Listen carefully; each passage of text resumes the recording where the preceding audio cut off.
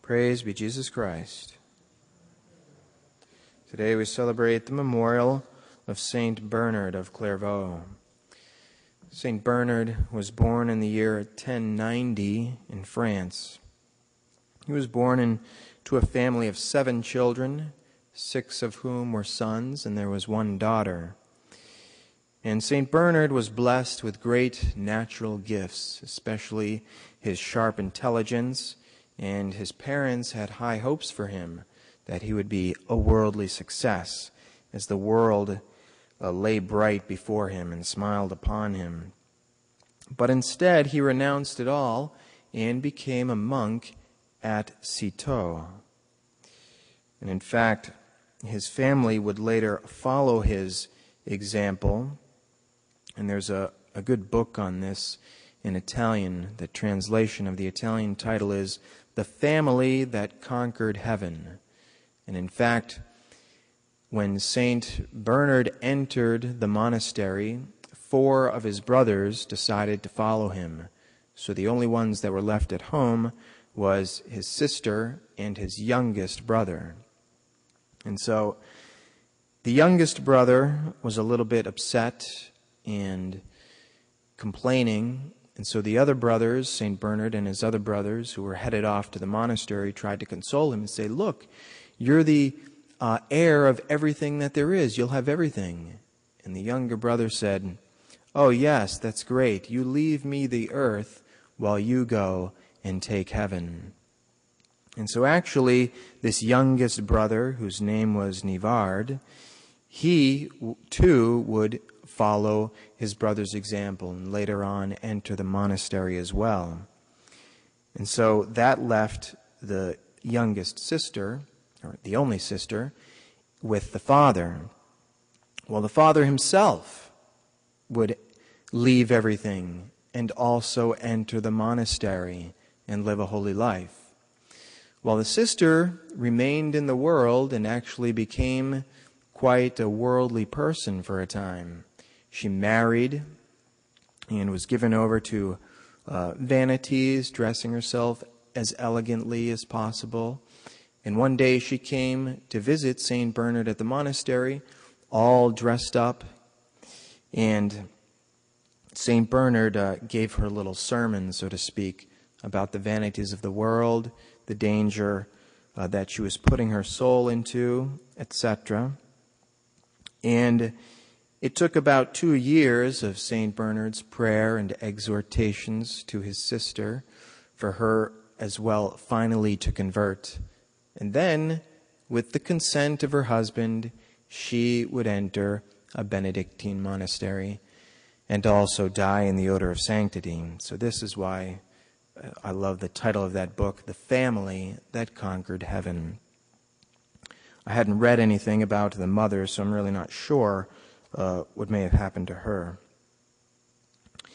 So St. Bernard would go on to become uh, abbot at Clairvaux, not at Citeaux, but a different location at Clairvaux. And because of his holy example, he drew many, many vocations. And so he began to found various monasteries, and at the end of his religious life, he ended up founding 163 monasteries. So fruitful was his example of holiness. St. Bernard was extremely austere with himself, lived a life of great sacrifice, prayer, vigils, fasting, and the like. In fact, towards the end of his life, he actually confessed that he had sinned with regard to this. And his example of being too extreme is also brought forth in Benedict XIV's work on beatification and canonization as being too extreme an example of mortification. So St. Bernard confessed that this that by doing this he had actually sinned. Why? Because he weakened himself to the point where he couldn't carry out the works of charity, works out of good works, out of love for God and neighbor that he could and should have carried out. And in fact, maybe, and we can say probably, brought about uh, his death. He died at the age of 63 in the year 1153 on August 21st. You know, although that wasn't all that young for those days, nevertheless, he probably could have extended his life if he had been a bit more prudent. He was then canonized shortly after in the year 1174, and because of the excellence of his writings and his doctrine, he's considered by some to be the last father of the church and was also proclaimed a doctor of the church in the year 1830. And so we see in St. Bernard that the perfection that we are called to is not an absolute perfection, but a relative perfection. Here we have a great saint, a great doctor of the church, and nevertheless, there was imperfection and sin in his life and, and error as well. Of course, not mortal sin. You know, in the lives of the saints, there can be no mortal sin. We know that. But nevertheless, there was that venial sin, that sin against prudence, his imprudent zeal, which caused him to exercise mortifications uh, to an extreme. Then again, St. Bernard also erred with regard to Our Lady's Immaculate Conception and her Assumption. And this is kind of confusing as well because St. Bernard is known to be a great Marian doctor. And here he erred on two of Our Lady's privileges. Of course, this was before they were defined, and so in the life of St. Bernard, you could still hold varying opinions about Our Lady's Immaculate Conception and her Assumption and still be in good faith.